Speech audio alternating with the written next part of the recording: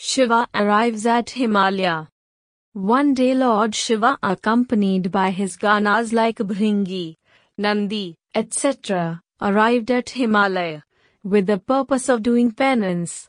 When Parvati father Himalaya came to know about his arrival, he went to receive him.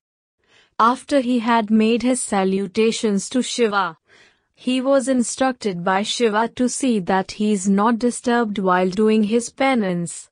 Himalaya made all the necessary arrangements so that Lord Shiva could perform his penance without being disturbed. One day Himalaya arrived at the place where Lord Shiva was doing his penance.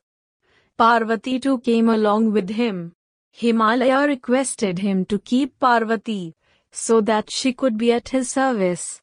Lord Shiva declined to keep her with him, fearing her presence might cause hindrance in the path of his penance. Now, Himalaya became very concerned about his daughter's future and wondered whether Parvati would remain unmarried.